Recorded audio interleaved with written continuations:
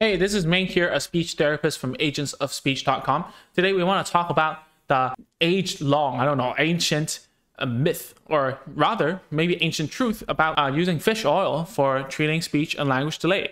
Okay, so that being said, I believe that there's a lot of signal and a lot of noise on the internet. Okay, I try to be more of the coherent signals that you can rely on. I'm trying my best. But at the same time, there's just a lot of stuff you can read online about fish oil. Okay, I'm going to share a bunch that I saw on the internet with you, and most of them are trying to say that fish oil is helpful towards speech and language delay. First of all, the more you search, the more confirmed you, you will feel like it because we have a free Facebook group with over uh, 8,000 parents now inside, and you will see that every week or so people will be asking, oh, is this DHA good? Is this fish oil great? Or whatever. So first of all, I want to talk about my experience with fish oil, okay? For me, at the very least, when I see children who are on fish oil, which is nearly 100% of the time who has a fish oil intake for my, for my students, I really cannot see a significant difference, to be honest with you, okay?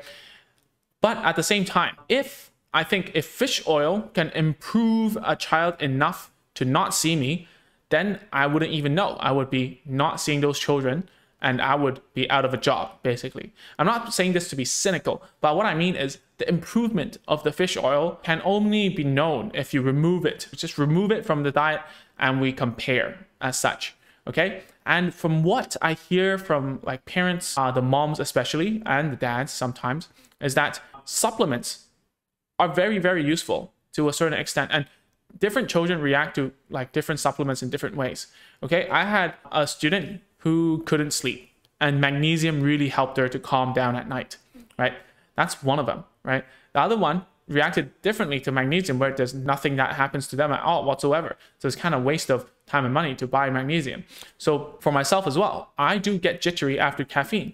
But for some of my friends, they can drink caffeine at like 11 p.m. and they can still sleep, right? So that's the thing about like just using supplements or whatever. It really need, depends on your child's tolerance and how they react to such, okay? And fish oil is rather, you know, it's, it's, it's a safe bet, first of all. Second of all, is, is that I don't see a, a major downfall and neg negative thing to use fish oil. In fact, I take fish oil every day. And after taking fish oil, I feel that I'm less inflamed, less bloated, in fact, I know that for sure. And with that, it will it should help with a child's mood as well, right? If you think about it. Okay, so let's talk about what parents are saying and what the internet is saying about this whole thing. Okay, so here you will see this Teach Me to Talk, great blog and great YouTube channel. You should check it out. So here in this thingy, I'll, I'll put it in the description in this this blog.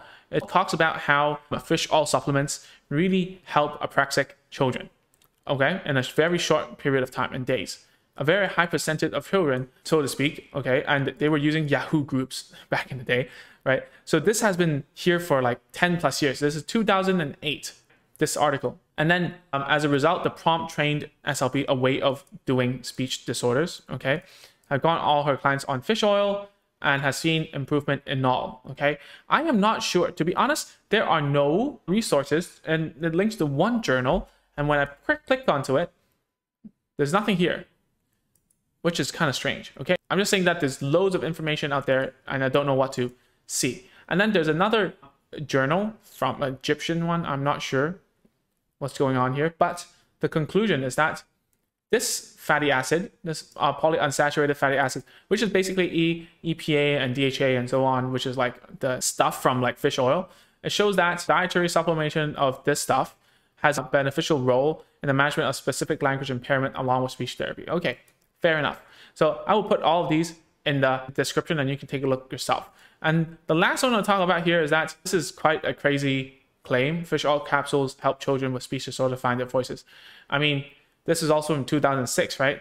And this is where it says, right? Speech language pathologists who monitored report significant improvements just within a few weeks. Improvements are noted not only in children's ability to talk, but also in the behavior, ability, focus, and maintain eye contact. So these are all talking about omega-3 and omega-6, right? EFAs, right? So anyways, back to the topic is that you see all of these things here, great signals on the internet. What should you do? Well, my advice to you is like, let's just try it, okay? And the reason why children become better at talking is not because of a magic supplement. Okay, it really isn't. If it were, then, you know, we wouldn't be having this conversation right now. And that's because it's been working for some people and improvements cannot, let's say improvements, but I don't know how much of an improvement there is, right? There were. And my thought about this is that when a supplement works for a kid, and which I can see with my own very eyes, their behavior is a lot better, right? They're able to focus, as the report was talking about, that they are able to concentrate longer and therefore the quality of practice becomes better and therefore they can speak better.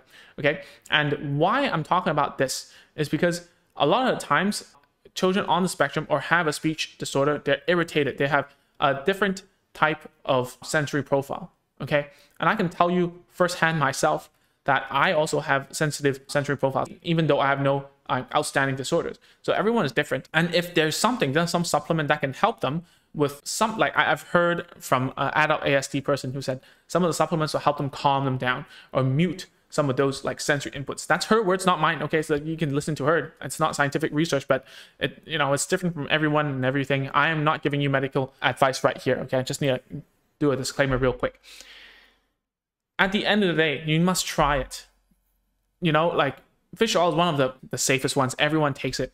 It's obviously beneficial to your sleep as a whole. There's re- loads of research on that. I use it myself. There's obviously other benefits about like fat loss, concentration, like anti-inflammatory, all these things. And whether it helps with speech and language specifically is something that I am not I'm not sure about. Okay.